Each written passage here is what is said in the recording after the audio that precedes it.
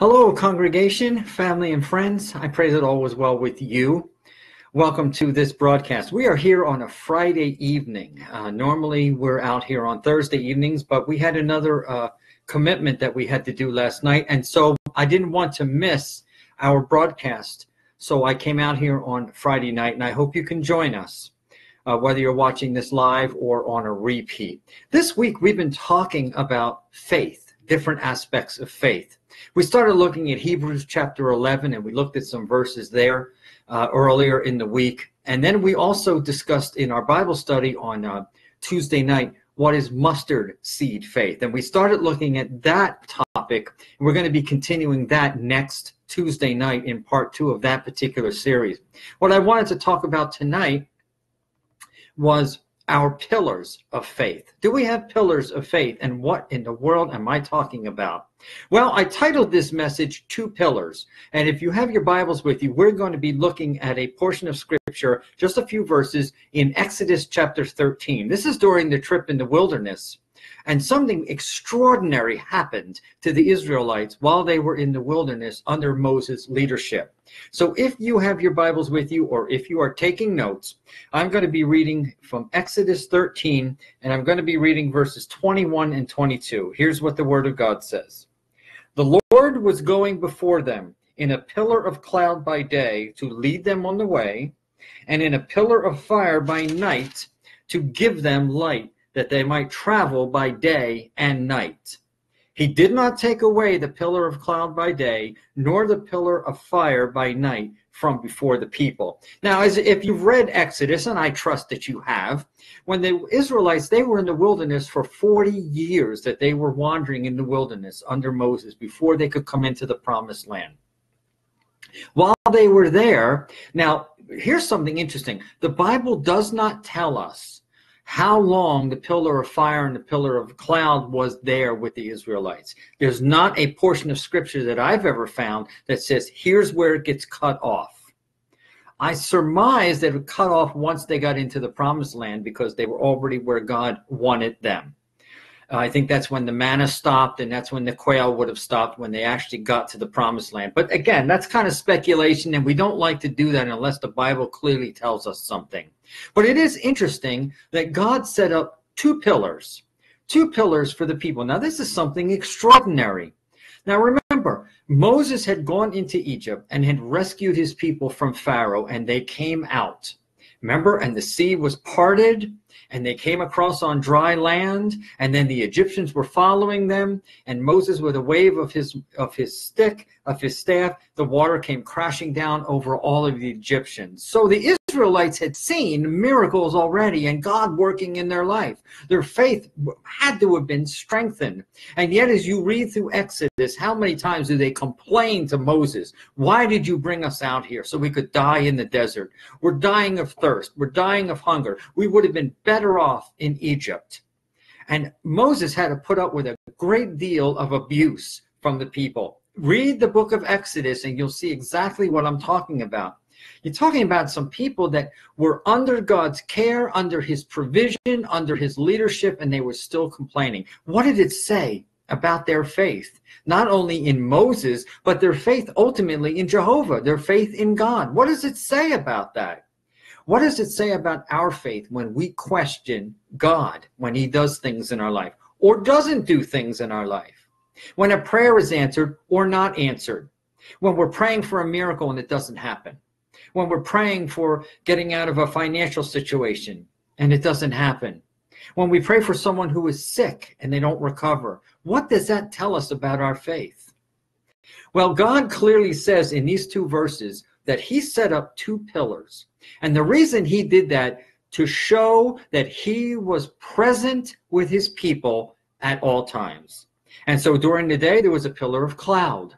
And whenever that cloud moved, read the Exodus account, whenever that cloud would move, the people, they automatically knew they would pack up their things and they would follow the cloud. And when the cloud stopped, that's where they stopped and set up camp and they did not move unless the pillar of cloud moved or the pillar of fire moved. They were obedient. What did it show them? What did it show us? That God is always with us. God is constantly with us. Now, today, I don't see a pillar of cloud around or a pillar of fire, so God lets us know where He is. We'll get to that shortly because I'm going to tell you and show you exactly what the pillar is today. It's not a pillar of cloud and it's not a pillar of fire. You may already guess what I'm going to say. But here we have two clouds. And if it turned nighttime, then the cloud changed. Imagine the miraculous thing that they saw, the miracle that they would see. Now, what is a pillar? A pillar is like a column. It's a column. We don't know how big it was. We don't know how wide it was. We don't know how tall it was. What we do know is it's a pillar. It was a pillar. And so the, uh, my guess is that they could look all the way up and down this thing. It was big enough for all of the people to see that God was with them at all times. Can you imagine just this, this pillar that's circling around with these clouds inside of it? And then when it got dark, it changed over to fire because sometimes they were on the move at night. And the Bible says here they did this so that they could move day and night. What is that teaching us? When God tells us to move, we are to move. When God tells us to do something, instructs us to do something, where is our faith? Do we go and we say, Yes, Lord, I know that's what you called me to do? Or, Yes, I'm getting convicted that I should move to a different area, or start a different job, or marry a certain person, or, or volunteer for something, whatever the case may be. And I've shared my testimony with you several times before of how I wound up where I currently am right now. But how many times has God brought that pillar into your life and was guiding you somewhere?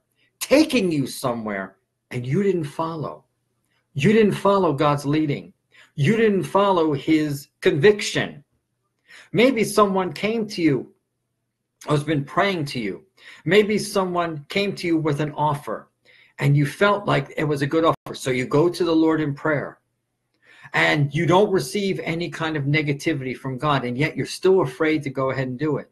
Maybe God led that person to you for that business opportunity or for that marriage or for that new position at work. I mean, God works in all kinds of ways. We know that across every area of our life.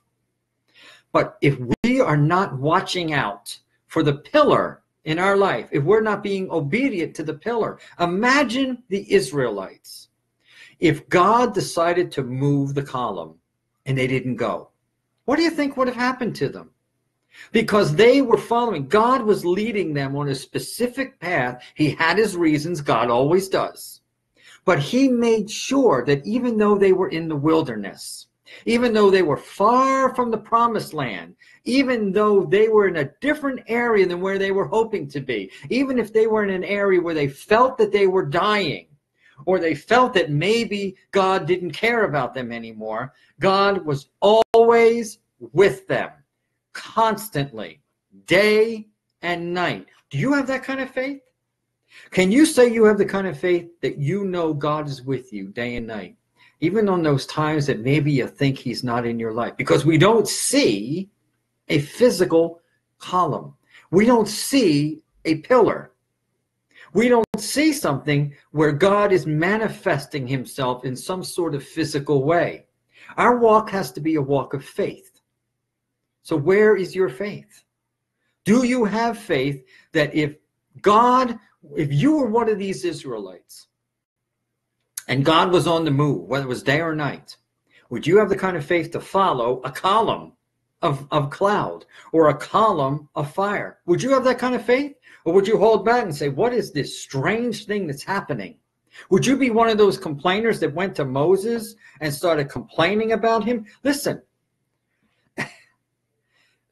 this is unbelievable. I, I, I, need to share this with you because right after Exodus 13, we have Pharaoh that's obviously in pursuit of the Israelites, right? Okay. And so listen to this. In Exodus 14, in verse 12, the Israelites said this Is this not the word that we spoke to you in Egypt, saying? This is them to saying to Moses. Let's go back to verse 11.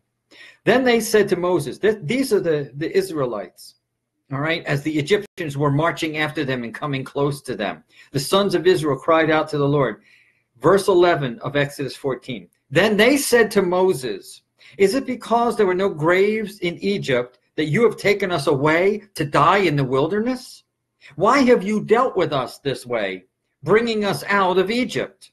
Is this not the word that we spoke to you in Egypt, saying, Leave us alone, that we may serve the Egyptians? For it would have been better for us to serve the Egyptians than to die in the wilderness. Did you hear that? You go back and read that again. Exodus 14. This is after God has established the pillars. God is with them at all times. God is leading them. And yet they still complain because they see the Egyptians coming after them and they're afraid. Where is their faith? They're suddenly afraid of the Egyptians. Now they're afraid of them, which is kind of interesting. They become frightened in verse 10. And yet by verse 12, they're saying to Moses, You should have left us there. Now, what is going on here? They're afraid of the Egyptians coming after them. And yet, two verses later, they're saying to Moses, We would have been better off had we stayed there to serve the Egyptians than you bringing us out here to die in the wilderness. They are coming after the servant of God, Moses himself, who was handpicked by God to go back into Egypt, get his people, bring them out. And because they're in the wilderness and they're not getting their way, or everything is not being provided to the level that they want, now they're going to come after Moses, God's servant Moses, and they're going to give him a hard time. And they're going to start saying to him, Didn't we tell you this in Egypt? Leave us alone. But no, you brought us out. And now we're out here in the wilderness, and you brought us out here to die, didn't you? Well, wait a minute. They're saying this to Moses right near or right in front of or within view of this column of smoke and this column of fire, these pillars that never go away. God is right there with them. They've already seen miracles. They've already seen what God can do. And yet, where was their faith? Their faith was weak.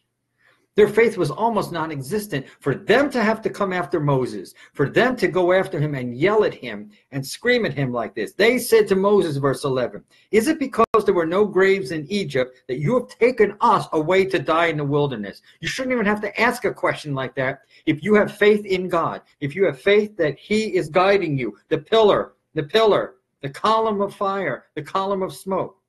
Why have you dealt with us in this way, bringing us out of Egypt? Really? Because it was God's will. And remember, the 400 years they were in Egypt, what did they do? They complained. Save us, get us out of here. They complained under their heavy labor. And now they're asking, why'd you get us out? Verse 12. Is this not the word that we spoke to you while we were in Egypt, saying, Leave us alone, that we may serve the Egyptians? You can read about that in Exodus 6. For it would have been better for us to serve the Egyptians than to die in the wilderness. Are you serious? Are you serious? Do you think it would be better to be in bondage to Satan, be in bondage to your sin? And I'm asking you and myself today, do you think it would be better than serving God to be caught in your own Egyptian area, for you to be caught in the clutches of Satan? In bondage, in sin, subject to the things of this world, as opposed to following God in whatever way He's leading you. You have a choice. I have a choice. We all have a choice on this side of the grave. We all have a choice as to whether we are going to follow God or not follow God, whether we're going to accept Jesus or not accept Jesus. We all have a choice. And we all have the same choice, and we're all given the same choice. And it amazes me that after everything that happened, here's the Israelites complaining to Moses. And you know what? This is not the only time in the book of Exodus that you see them complain about Moses. Read it. Exodus is 40 chapters. Now, the last 20 or maybe 18 chapters of it talks about building the tabernacle and so on, and it gets into great detail. But if you read the first 20 to 25 chapters of Exodus, you will see the whole story from the time that Moses is called to the time that they're in the wilderness as they're heading towards the promised land. And you will see how many times God has fed them with manna, and He fed them with meat, the quail, and He fed them with water so that they wouldn't dehydrate, that they would live in that wilderness for all those years. God provided for them, and He was there in the in the form of two pillars, two pillars, fire and cloud. He never left them. He never left them, and yet they couldn't see past those pillars. They were thinking of themselves and not what God wanted for them. How often are we guilty of that? How often do we think we know what's best for us? God doesn't know what's best for us. God is way out there. God is on the other side of the world taking care of a problem. He doesn't care about me. God wants doesn't want to help me. He wants to help somebody else. How many times do we have those like that? Where is your faith? Where is my faith? when we have situations and we don't seek God. Now, you may be asking the question here, you know what? Before we do that, if you uh, have your Bibles or you're marking it down, there's a verse in Nehemiah chapter 9 that talks exactly about this, this pillar. I want to read it to you. It's in Nehemiah chapter 9, verse 19. Listen to this, and here you'll know the reason why God did this. It says, You, in your great compassion, did not forsake them in the wilderness. The pillar of cloud did not leave them by day to guide them on their way, nor the pillar of fire by night to light for them the way in which they were to go. Did you hear that? This is Nehemiah. In Nehemiah chapter 9, he is going through the various things that the Lord had done for the Israelites. I want to read 19 again. He says, You, he's talking to God, you and your great compassion God was with them because he cared about them. God is with us because he cares about us. Where is our faith when God is reaching out to us at all times? In his great compassion, he did not forsake them in the wilderness. And guess what? If you're in a wilderness right now, God has not forsaken you in your wilderness. And I can tell you, as a personal testimony, that I have been in the wilderness in my life many times. I'm actually going through one right now right now in the last few weeks. It's gotten worse and worse. But I know because my faith is strong that God is with me even in the wilderness. It's one of the reasons I'm bringing this message tonight. Because if you're in the wilderness, if you think that God doesn't care, if you think that He has no compassion on you and He doesn't love you, and He's just going to abandon you because you're in this dark place, or you're in a wilderness, or maybe a prayer hasn't been answered, or maybe you're feeling a little ill Maybe you have a sickness and you haven't been healed yet. Whatever the case may be, where is your faith? God never leaves us. And so I want to look at the rest of this verse here. He says, You, in your great compassion, did not forsake them in the wilderness. The pillar of cloud did not leave them by day. That pillar of cloud was there for every hour of daylight, it never left. It says to guide them on their way. Remember, I told you earlier, when the cloud moved, the people moved with them. When the cloud stopped, the people stopped. And they did not move again until that cloud moved. Then Nehemiah goes on to say, Nor the pillar of fire by night to light for them the way in which they were to go. If God wanted them to go at night, you're not going to see a cloud in the, in the pitch black of night, but you will see a column or a pillar of fire. And when they saw that move, they were to move again. God was guiding them every step of the way. Yet we see time and again in Scripture how many times, not just in Exodus, all through the Old Testament, you see it in the New Testament, you and I have seen it these days. People forget or refuse to acknowledge or don't believe that God is always with us. Did Jesus not tell us? I think it's in Hebrews 13. Go over to Hebrews 13. I think you probably know the verse I'm looking for here. Hebrews 13. What did Jesus tell us? He told his disciples and he told us the same thing. It's a promise that we can keep. This is one of the pillars that I want to talk to you about of modern day today. Listen to this. Jesus said in Hebrews 13, verse 5, He said, He himself says, I will never leave you or desert you, and I will never forsake you. So that we may confidently say, The Lord is my helper. I will not be afraid. What will man do to me? Jesus I asked earlier and I said I would explain to you. We do not have physical pillars today. We don't see a cloud, a pillar, or a column of cloud that turns to fire at night. That was a manifestation of God during the time of the Exodus. That was something that God did then for the Exodus. But where is God now? Do we see manifestations? Do we have extraordinary things like columns of fire and things? Does God operate in that way anymore? Well, God, first of all, can do whatever he wants to do whenever he wants it. But I submit this to you. If you're wondering, well, Thomas, what are our pillars today? What can we really count on? What can we really look at the same way to get on those on those times that we're doubting, those times that we're hurting, those times that we feel like God has abandoned us, those times that we, we feel maybe we sin so greatly that God has no forgiveness for us, He wants no part of us. How do we tap into that faith that we need so that we can experience that ever present manifestation of God. It's not in a pillar of cloud, it's not a pillar of fire. It's right here. It's what I tell you all the time. It's the Word of God. See, the Word of God is everlasting. The Word of God is unchanging. It does not change. It never has changed. It never will change. Jesus himself said, Heaven and earth will pass away, but my words will never pass away. These are his words. Jesus is eternal God. Jesus wrote the Bible. And Jesus is telling us right here in Hebrews 13 5, he said, I will never leave you, never desert you.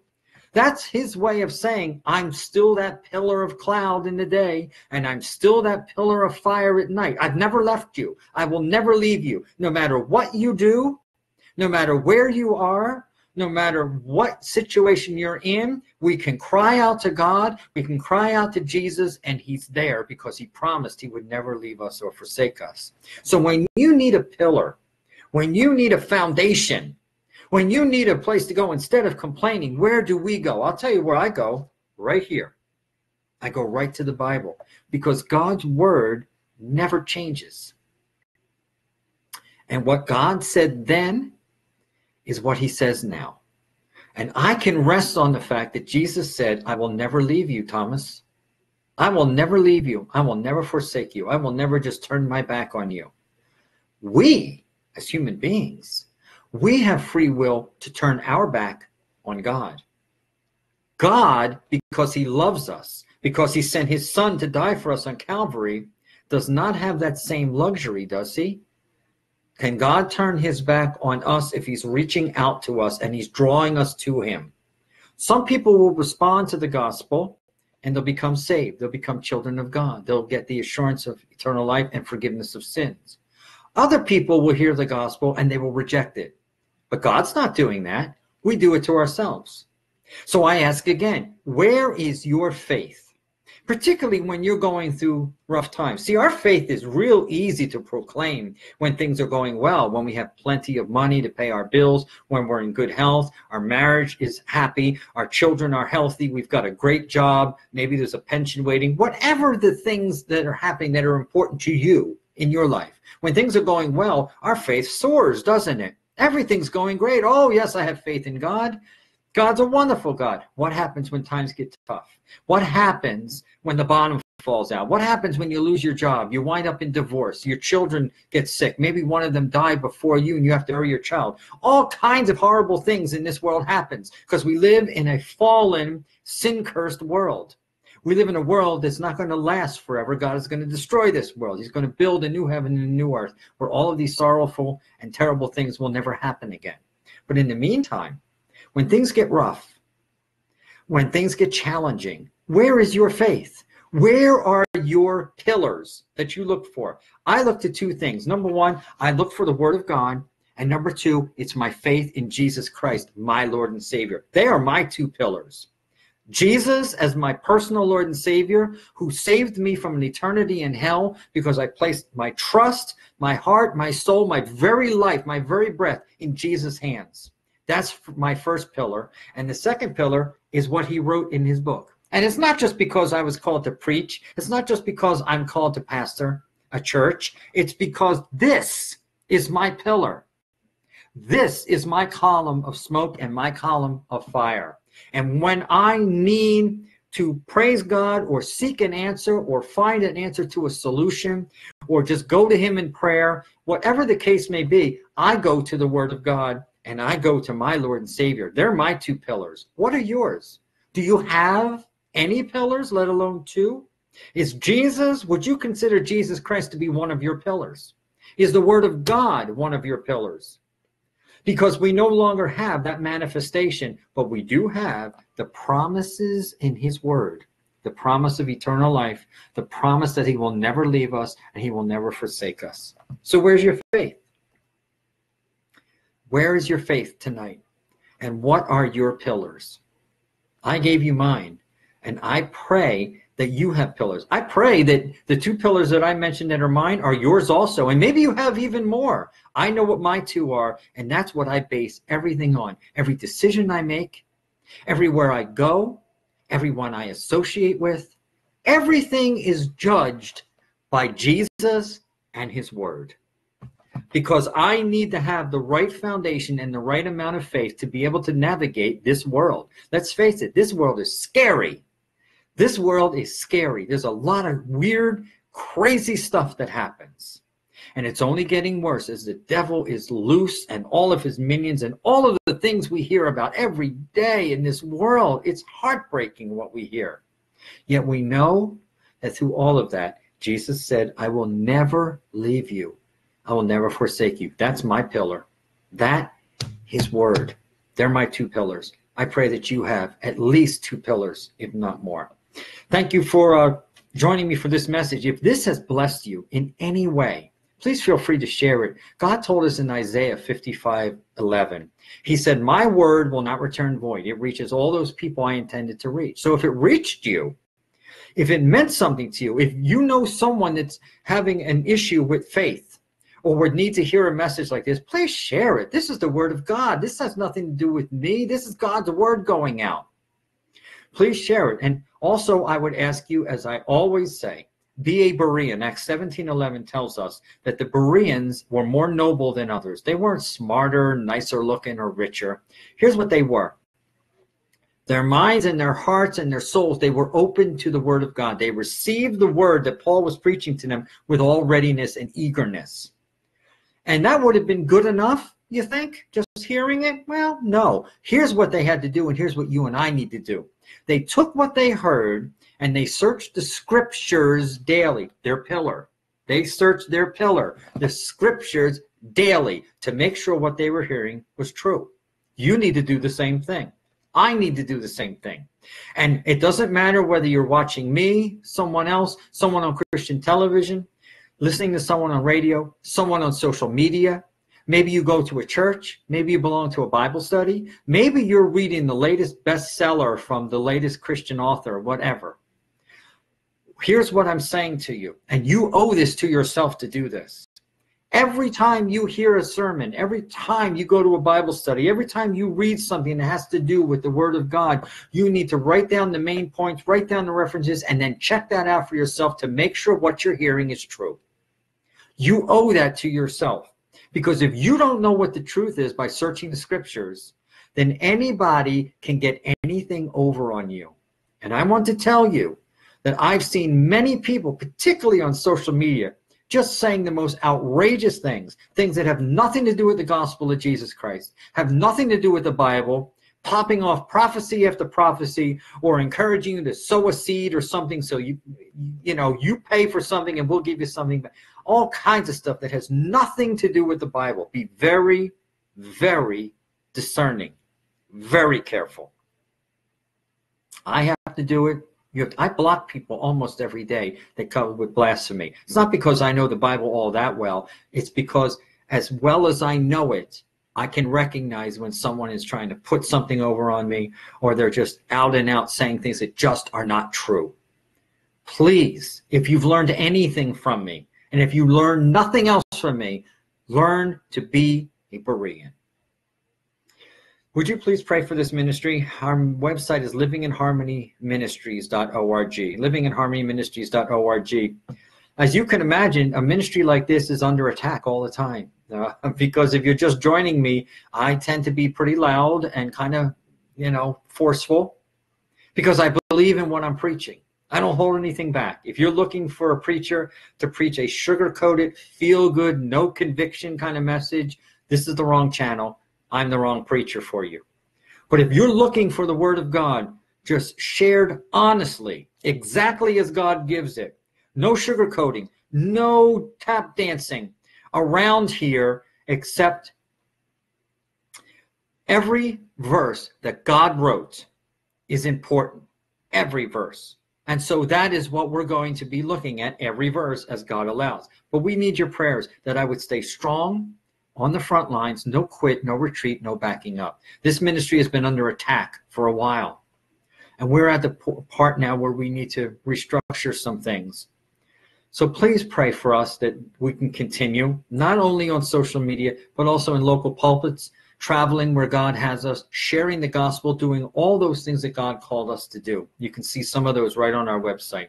And lastly, if God leads you, and God leads you to support us financially, we sure could use your help. We have uh, lost a great deal of support, almost all of it at this point, and I'm just being honest, you know. Um, but this is between you and God. If the ministry has blessed you, please feel free to uh, contribute financially if God leads you. You don't have to pay for any kind of prophecy here. You don't have to sow a seed. You never have to give a dime.